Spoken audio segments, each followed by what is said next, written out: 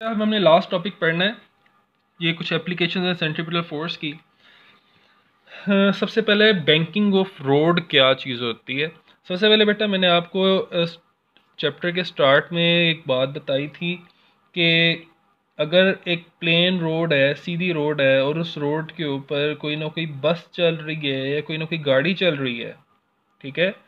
और मैं ये ज्यूम करिए फ्रंट व्यू है गाड़ी का। गाड़ी चलते चलते एक शार्प टर्न लेती है, ठीक है? शार्प टर्न गाड़ी इस तरफ़ को, गाड़ी इस डायरेक्शन में मूव करती है सिर्फ़ शार्प टर्न लेती है।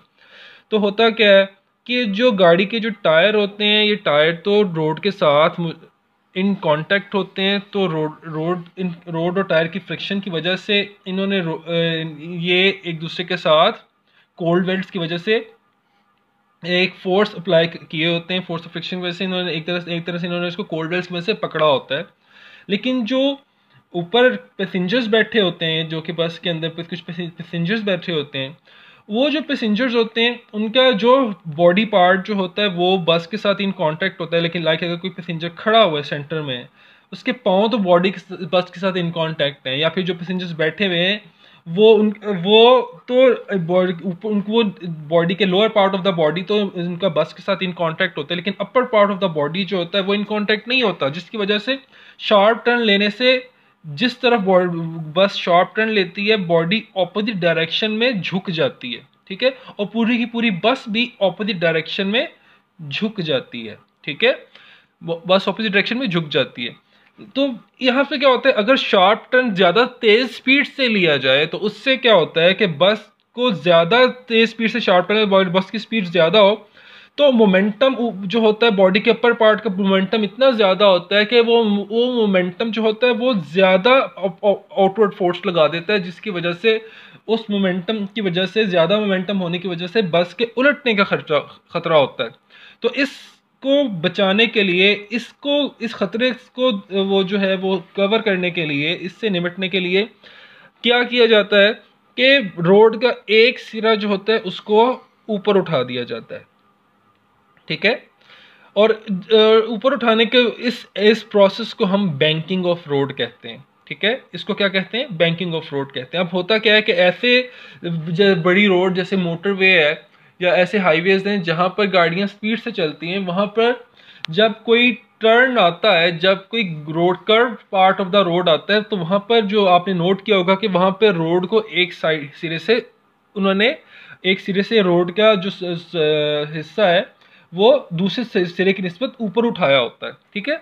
यहाँ पर क्या होता है? कि जब कोई बस अब चल रही होती है, इस ऐसे रोड पे जब कोई बस चलती है और अब जब शार्प टर्न लेती है बस इस तरफ़ जब शार्प टर्न लेती है तो इनके टायर्स के दरमियान, आपको पता है, मैंने कभी बताया कि जो जिस तरफ़ शार्प टर्न लेती है तो force reaction force opposite direction में मोमेंटम की वजह से बॉडी ऑपोजिट डायरेक्शन में घूमती है अपोजिट डायरेक्शन में जो होती है, वो मूव करती है।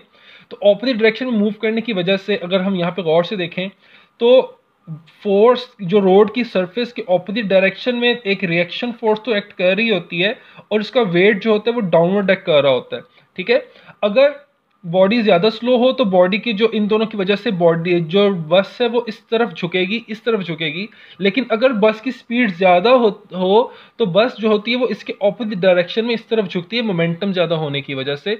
तो होता क्या है कि इस तरफ़ झुकने की वजह से अब चूँकि एक तरफ़ से ऑलरेडी बॉडी जो बस जो है वो एक तरफ़ से उठी होती है रोड इस तरह एक तरफ़ से उठी होती है, जिसकी वजह से बस एक साइड से उठी होती है तो इस केस में जो ये वाला हिस्सा, बस ये वाला पार्ट ऑफ़ द बस है या ये वाला जो टायर है, इस, ये जो टायर है, ये नेसेसरी फ्रिक्शन प्रोड्यूस करता है रोड के साथ और इस फ्रिक्शन की वजह से नेसेसरी सेंट्रीपिटल फोर्स क्रिएट हो जाती है, जिसकी वजह से बस जो है वो उस तरफ़ स्लिप नहीं होती, ठीक है? तो नेक्स्ट बेटा आपका टॉपिक है वॉशिंग मशीन ड्रायर अब होता क्या है कि जो ड्रायर होता है, किसी भी आपने ड्रायर मशीन का ड्रायर देखा होगा उस ड्रायर के अंदर बेटा उसके सरफेस एक होलो सिलेंडर होता है और सिलेंडर की सरफेस के ऊपर छोटे छोटे सुराख होते हैं बहुत ज़्यादा सारे, ठीक है? अब होता क्या कि गीले कपड़े इनके अंदर डाले जाते हैं। जब इनके अंदर गीले कपड़े डाले जाते हैं, गीले कपड़े डालने की वजह, डालने के बाद इनको, इसको तेज़ी से घुमाया जाता है, ठीक है? और इसको घुमा, जब घुमाते हैं किसी भी एक सर्टेन डायरेक्शन में इसको जब घुमाते हैं तो घुमाने से क्या होता है?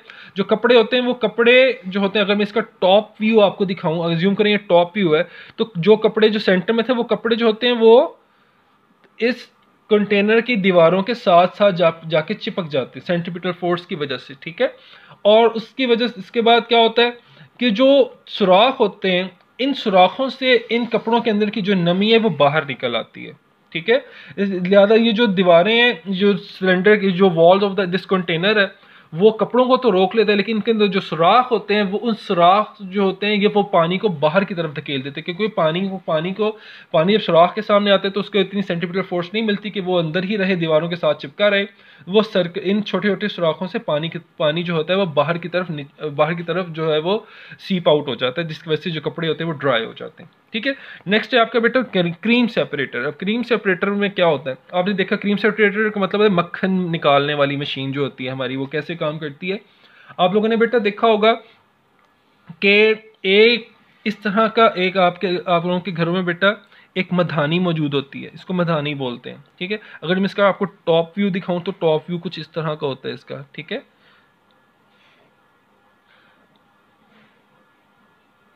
ये इसका टॉप व्यू है मधानी का, ठीक है?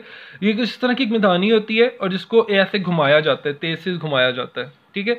अब एक बड़े से कंटेनर के अंदर इस मधानी को डाला जाता है, ठीक है?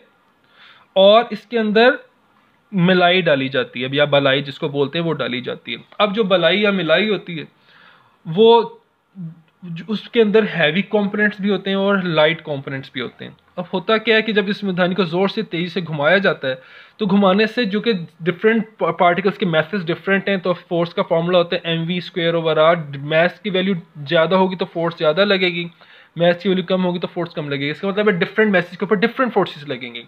तो ज़्यादा फोर्स जो होती है, ज़्यादा हैवी पार्टिकल्स पर लगती है तो वो ज़्यादा हैवी पार्टिकल जो होते हैं, वो ज़्यादा फोर्स लगने की वजह से दूर जाते हैं, ज़्यादा जो है सेंटर से अवेयर ज़्यादा चले जाते हैं तो ज़्यादा जो हैवी पार्टिकल्स होते हैं, वो कंटेनर की दीवारों के साथ साथ जो है वो चिपक जाते हैं। तो सेंटर में हैवी लाइट पार्टिकल्स रह जाते हैं। तो इस तरह से जो मलाई होती है, उसमें से हैवी और लाइट पार्टिकल्स ज़्यादा हो जाते हैं। जो जो सेंटर वाले जो सेंटर में जो लाइट पार्टिकल्स होते हैं, इसको क्रीम भी बोलते हैं। यहाँ पे क्रीम कहा गया है, आम ज़ुबान में इसको बेटा लस्सी बोलते हैं।